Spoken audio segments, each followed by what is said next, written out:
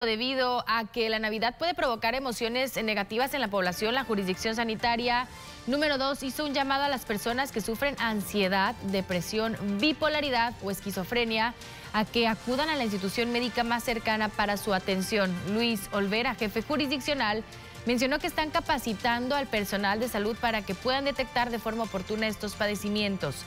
Informó que a la semana atienden de 15 a 20 ciudadanos, de los cuales el 90% es diagnosticado con depresión de leve a moderada.